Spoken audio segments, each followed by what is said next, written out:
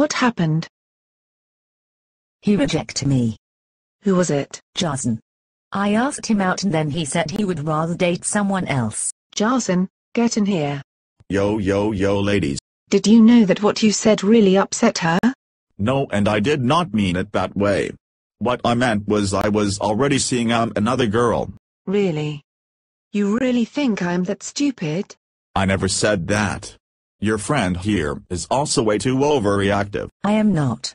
You are yay, and I will never ever take the Kens into dating a jock. Girl, maybe you should go. I need to talk with Jason. Are we alone? Yeah babe. Love you.